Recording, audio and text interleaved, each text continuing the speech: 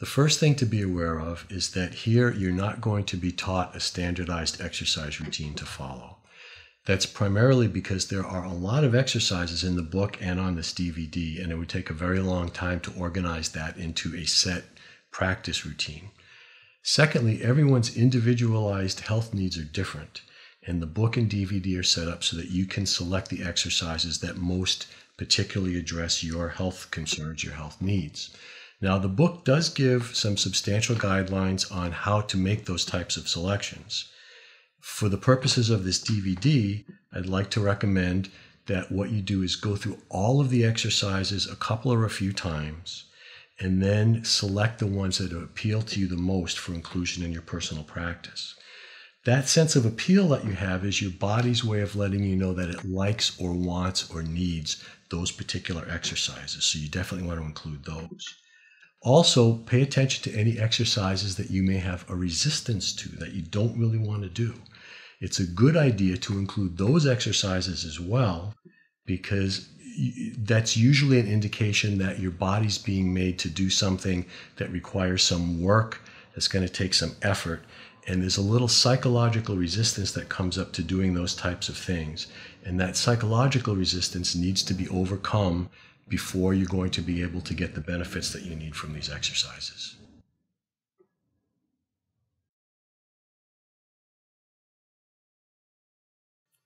There are a wider range of benefits to these exercises than might be readily apparent to you at first glance. The most obvious ones would be the physical ones as we move from body part to body part, from your internal organs to your sense organs to your glands.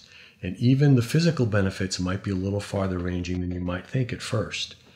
But there are energetic benefits too that are not really that apparent unless you've become more familiar with these types of practices.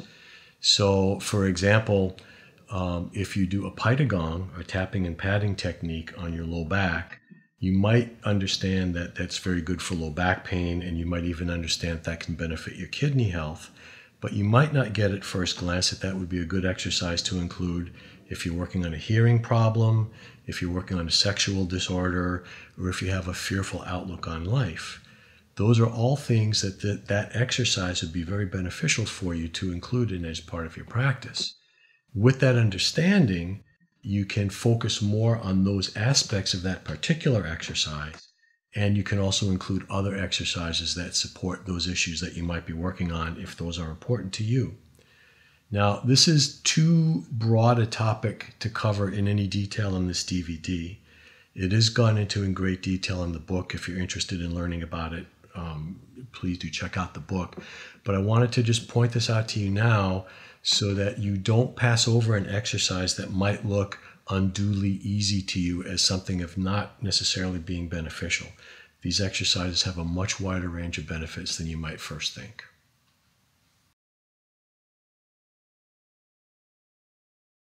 Some of the exercises taught here may look familiar to you as they may appear similar to Hatha Yoga poses. Yoga is very widespread throughout the Western world, and if you practice yoga and you see something that looks similar to a yoga pose, you might be tempted to dismiss it as something you're already familiar with and then want to move on to the next exercise in the book or the DVD. What you need to be aware of, though, is that the Chinese have long assimilated other exercises, herbs, and healing practices from many other cultures into their own culture and modified them in ways that make it their own in accordance with the Chinese holistic view of health. So, for example, on the cover of my book, there's a, a, pose that looks very much like the cobra.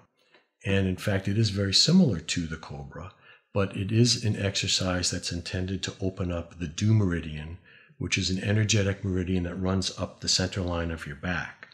Now, the Du meridian governs all of the yang qi of your body.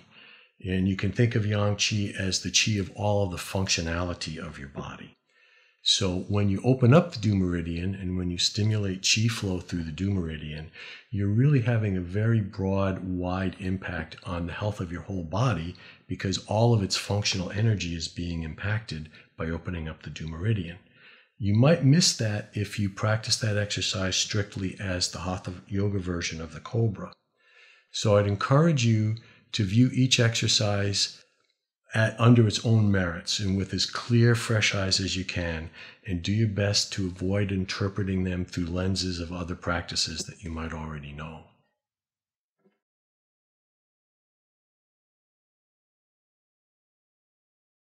Begin this exercise by grasping your toe firmly enough to be able to create a traction through the length of your entire foot. This will open up the joint spaces and engage the associated muscles, tendons, and ligaments. Rotate your toe side to side, rotating only to the point to which you feel some resistance, and then you reverse the direction of the rotation. You want to rotate each toe 10 to 12 times. The optimal place to grasp your toe is at the base of the nail bed at either side of the nail bed. On most of your toes, you'll find acupuncture points there.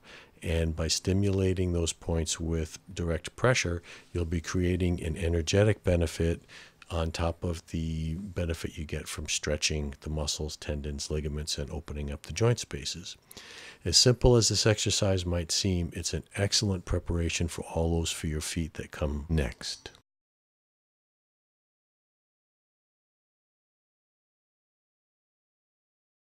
Here, move your right hand above your ankle, still maintaining a traction through the whole length of your foot, and rotate your foot and toes and ankle first in one direction and then the other.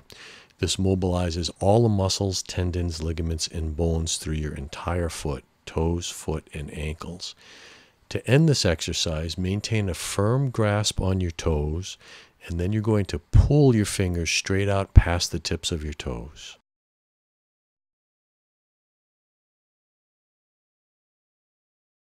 Here you're going to intersect the Laogong point at the center of your palm with the Yongquan point near the ball of your foot.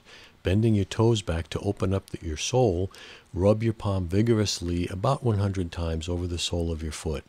Each time Laogong intersects Yongquan, there's a small energetic stimulation to your kidneys, and additionally, the friction generates warmth, bringing more qi and blood to your foot.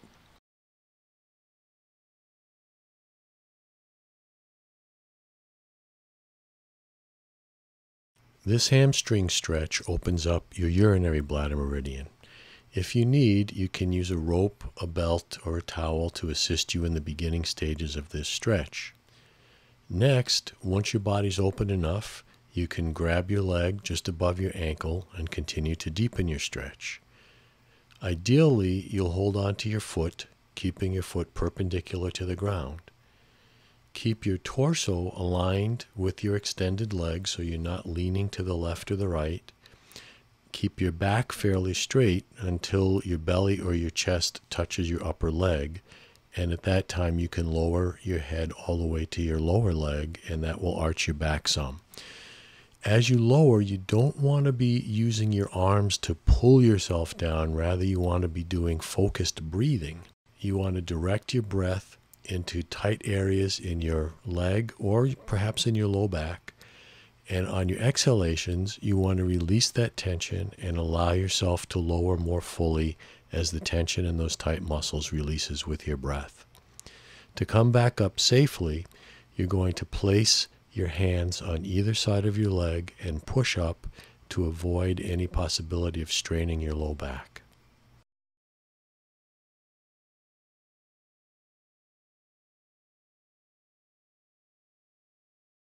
Bring the palms of your hands together in front of you and interlock your fingers.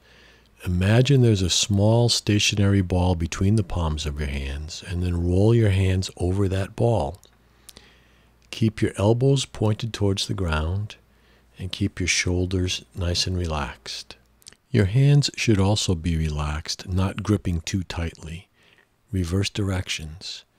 Notice how your forearms slightly move up and down to track the movement of your rotating wrists.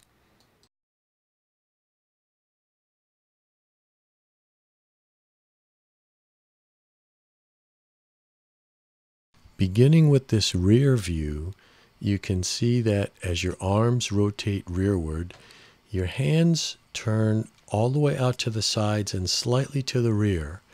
Your shoulder blades move entirely towards your spine on the rearward motion. As your arms rotate forwards, your shoulder blades move as far away from your spine as is comfortably possible. This coincides with the back of your hands coming together at the front of your body. Although it might be more visible to see the movement in your hands, you should feel this movement initiated from your shoulder blades and you should feel the rotation moving through the entire length of your arms.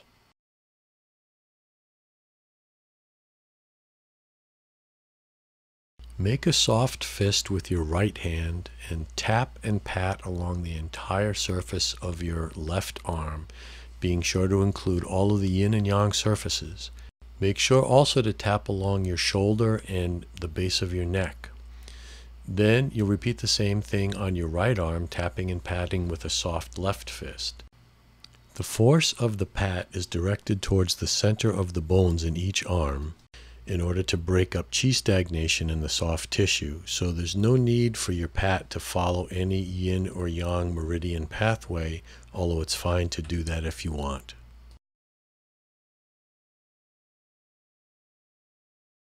In the preparatory version of this exercise for people with tighter hips, bend your left leg so you can sit on your left heel.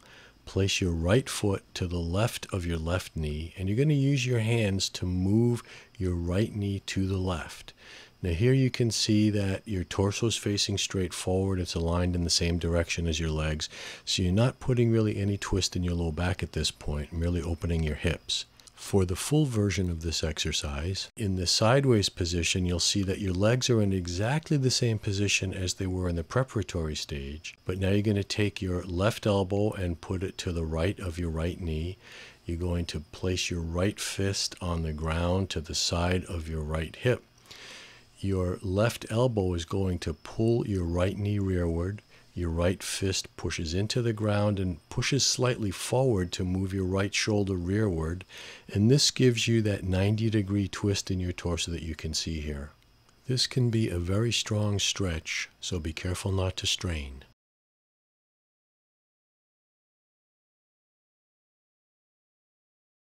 Form your hands into tiger's claws as shown here with straight wrists and your fingers hooked starting at the front of your hairline, rake backwards with your tiger's claws in three sets of three lines. So here you can see there's a middle line, slightly out from the middle, and then all the way to the side. From this rear view, you can see where your fingers end at each rake. They end at that point regardless of whether you're raking along the more central line or along the line more to the sides of your head. This brings more chi and blood to your head in a general way and stimulates more chi flow primarily through the urinary bladder and gallbladder meridians.